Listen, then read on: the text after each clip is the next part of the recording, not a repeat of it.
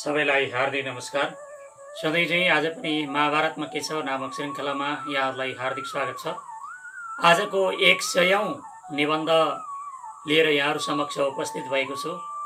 जुन निबन्धको शीर्षक रहेको छ उत्तम र अधम ब्राह्मणको लक्षण। यो निबन्ध महाभारतको बाह्रौँ पर्व शान्ति पर्वबाट लिएको हो।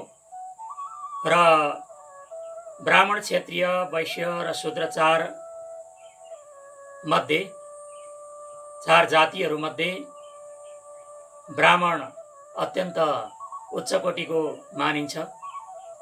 यद्यपि जन्मजात ब्राह्मण क्षेत्रीय वैश्य र शूद्रको क्रमिक रूपमा अहिले ह्रास हुँदै गएको छ र कर्मको रूपमा आफूलाई परिष्कार गरेर जन्मना जायते शूद्र कर्मणा द्विज उच्यते जन्मद्वारा सबै शूद्र हुन्छन् र कर्मद्वारा संस्कारद्वारा द्विज अर्थात् ब्राह्मण क्षेत्रीय र वैश्यको कोटीमा पुग्छन् भन्ने यो परम्परागत मान्यता अनुसार पनि हामीले ब्राह्मणको कुलमा ब्राह्मणकै कोखमा जन्मियौँ भनेर दुराचारमा प्रवृत्त भयौँ भने हामी ब्राह्मणत्वबाट स्खलित हुँदै जानेछौँ।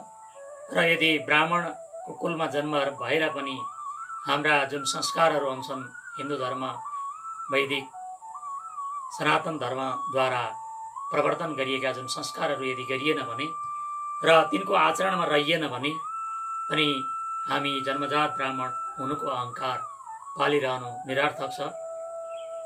र उत्तम र अधम ब्राह्मण कस्ता रहेछन् भन्ने बारेमा महाभारतको शान्ति पर्वमा अभिव्यक्त भएका केही महत्त्वपूर्ण कुराहरू हाम्रो जीवन र हाम्रो व्यवहारका लागि पनि केही न केही प्रेरणादायी हुन सक्लान् भन्ने अपेक्षासहित यो निबन्ध संयोजन गर्ने प्रयत्न गरेको छु। उत्तम र अधम ब्राह्मणको लक्षण। युधिष्ठिरले जिज्ञासा राखेपछि भीष्मले राजाका कर्तव्यको वर्णन गर्छन्। त्यसपछि युधिष्ठिरले राज्यबाट सुख प्राप्त हुन्छ भन्ने आशाले आफूले एक क्षणमा एक क्षणका लागि पनि राज्य गर्ने इच्छा नराखी धर्मका लागि राज्य गर्ने इच्छा राखेको तर राज्यमा धर्म रहेनछ। जसमा धर्म छैन त्यस्तो राज्यबाट आफूले केही लिनु छैन। तसर्थ अब म धर्म गर्ने इच्छाले वनमा जान्छु। पावन वन प्रदेशमा हिंसा त्यागेर जितेन्द्रिय भई मुनिवृत्तिमा रहेर फलफुल खाई धर्मको आराधना गर्नेछु भन्ने विचार व्यक्त गर्दछु। युधिष्ठिरको यस्तो कुरा सुनेर भीष्मले उनलाई राज्यको कर्तव्यमा नै समर्पित हुनुपर्छ भनेर सम्झाउँछन्।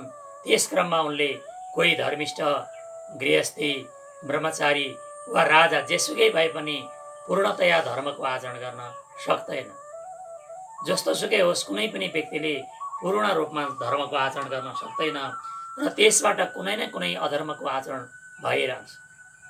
त्यसैले कुनै काम देख्नमा सानो भए तापनि यदि त्यसमा सार धेरै छ भने त्यही महान काम हो। नगर्नुभन्दा केही गर्नु नै राम्रो हो किनकि कर्तव्य कर्म नगर्ने मान्छे भन्दा अर्को कुनै ठुलो पापी छैन भनेर युधिष्ठिरलाई भीष्मले कर्मपथमा अग्रसर गराउँछन्। नैकान्त विनिपातेन विचचारिह कश्चन धर्मी गृही वा राजा वा ब्रह्मचारी यथा पुनः अल्पम्बे सारभूयिष्टम। यत्का यत्कर्मो धारमेव तत् कृतमेवा कृतमेवा कृताश्रेयो न पापियो कर्मण केही ब्राह्मणहरू आफ्नो वर्णोचित कर्ममा प्रवृत्त भइरहन्छन् भने अर्का थरी धेरै जसो ब्राह्मणहरू आफ्नो वर्णको विपरीत कर्ममा प्रवृत्त हुन्छन्। यी दुवै प्रकारका ब्राह्मणहरूमा के अन्तर छ? यस विषयमा मलाई बताइदिनुहोस् भनेर युधिष्ठिरले भीष्मसँग अनुरोध गरेपछि भीष्मले अधम र उत्तम ब्राह्मणको लक्षणका बारेमा युधिष्ठिरलाई जानकारी गराएका हुन्। र यो निबन्ध पनि त्यसै सन्दर्भमा अग्रसर भएको छ। जुन विद्वान उत्तम लक्षणहरूद्वारा सम्पन्न छन् र जसले सर्वत्र समान दृष्टि राख्छन् त्यस्ता ब्राह्मणलाई ब्रह्मा समान भनिन्छ भने जुन ब्राह्मण ऋग्वेद यजुर्वेद र सामवेदको अध्ययन गरेर आफ्नो वर्णोचित कर्ममा प्रवृत्त भएका छन् त्यस्ता ब्राह्मण देवता समान हुन्छन्। विद्या लक्षण सम्पन्न सर्वत्र समदर्शिन एते ब्रह्म समाह राजन ब्राह्मण परिवर्तित ऋग्यजु साम सम्पन्न स्वेषु कर्म स्वस्थिता एते देव समाराजन ब्राह्मणा नाम भवन्त्यु त। जो ब्राह्मण आफ्नो जातीय कर्मद्वारा हिँड्छन् र निन्दित कर्महरूमा लागेर ब्राह्मणत्वद्वारा भ्रष्ट छन् त्यस्ता ब्राह्मणहरू शूद्र समान हुन्छन् भन्ने।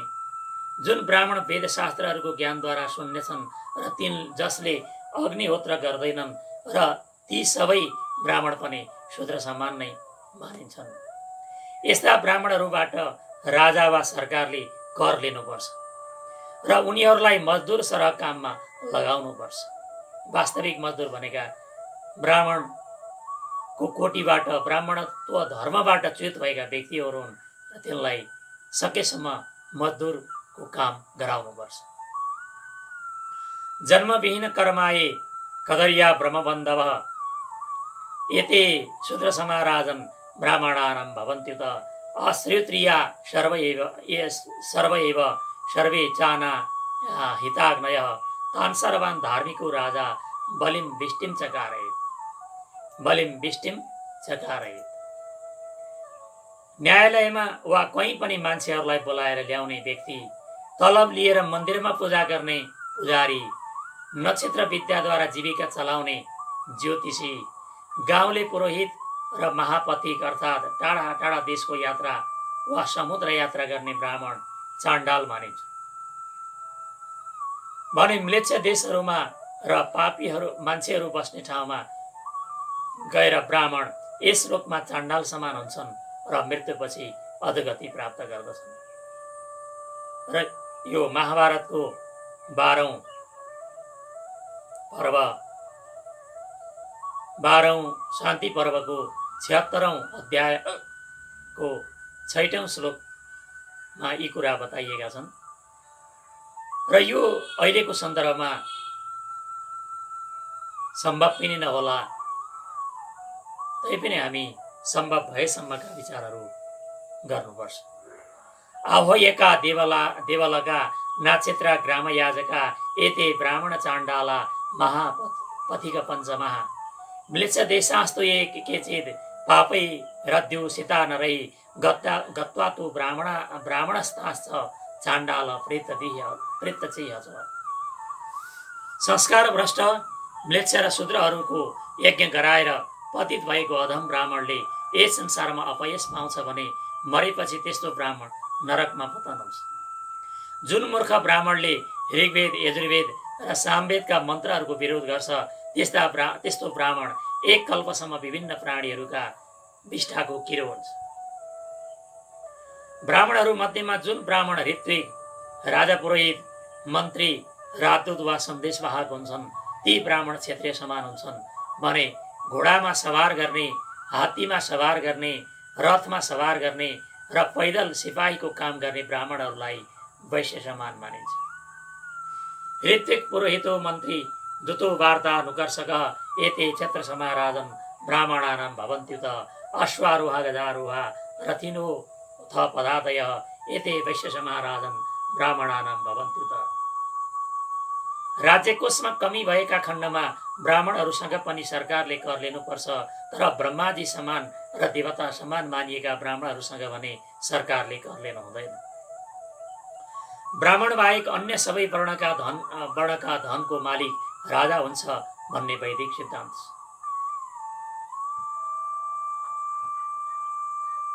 र यो वैदिक सिद्धान्त छ। र ब्राह्मणहरू मध्येमा जुन ब्राह्मण आफ्नो वर्ण धर्मको विपरीत कर्म गर्छ भने त्यस्ता ब्राह्मणको धनमा पनि राजाकै अधिकार हुन्छ सरकार प्रमुखकै अधिकार हुन्छ।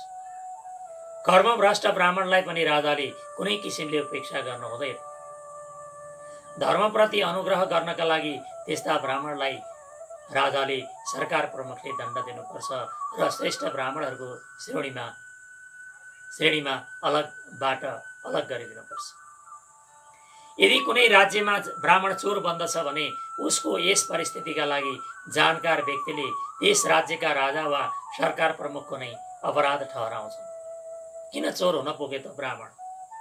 बाध्यता के छ त त्यसबारेमा उसलाई दण्ड नदिएर त्यो पत्ता लगाउने प्रयत्न गर्छन्। यदि कुनै वेदवेत्ता वा स्नातक ब्राह्मण जीविकाको अभावमा चोरी गर्दछ भने राजाले त्यस्ता ब्राह्मणको भरण पोषणको व्यवस्था गर्नुपर्छ भन्ने वेदवेत्ताहरूको विचार रहेको छ। जीविकाको प्रबन्ध गरिदिएपछि पनि त्यस ब्राह्मणमा कुनै परिवर्तन आएन र पूर्ववत चोरी गरिरह्यो भने त्यस ब्राह्मणलाई देशबाट निर्वासित गरिदिनुपर्छ निकाला गरिदिनुपर्छ।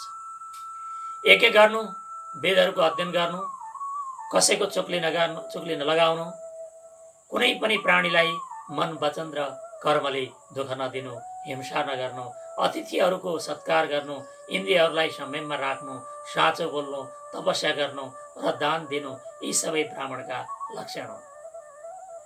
जसले ब्राह्मणका यी लक्षणलाई पालना गर्न सक्दैन त्यस्तो ब्राह्मण ब्राह्मण कुलमा जन्मिए पनि अधम ब्राह्मण हो अधम ब्राह्मणमा ब्राह्मणत्व नरहने भएकाले त्यस्तो ब्राह्मण शूद्र समान ठानिएको। आफ्नो वर्ण धर्मबाट च्युत हुँदै गएपछि ब्राह्मणमा ब्राह्मणत्व रहँदैन। मान्छे भएका कारण ब्राह्मण पनि च्युत हुनु अस्वाभाविक होइन तर अज्ञानवश च्युत भएको अवस्थामा च्युतको बोध गरि गरे गरेर अच्युत हुने प्रयत्नतर्फ अग्रसर भइरहनु उत्तम ब्राह्मण बन्ने लक्षण हो। उत्तम उत्तम ब्राह्मण नै क्रमशः अच्युतको सान्निध्यमा पुग्न र मोक्ष समय प्राप्त गर्न सक्दछन्। यो महाभारतको एक सयौँ निबन्ध जो उत्तम र अधम ब्राह्मणहरूको लक्षणसँग सम्बन्धित थियो। र यो विषयवस्तु यति नै रह्यो। वास्तविक रूपमा हामी ब्राह्मण थरले ब्राह्मण जन्मले ब्राह्मण मात्रै होइन हाम्रो कर्म पनि ब्राह्मणत्व को कोटीमा उचाल्ने खालको हुनुपर्छ। जब हामी कर्म राम्रोसँग गर्दैनौँ आफ्ना संस्कारहरू त्याग्दै जान्छौँ। वास्तविक रूपमा त्यो थरले हामीलाई हामीलाई ब्राह्मणको कोटीमा पुर्याउन सक्दैन बरु त्यसले धिक्कार गरिरहन्छ। यो महाभारतको श्रृङ्खला यहाँहरूलाई के कस्तो लागिरहेको छ?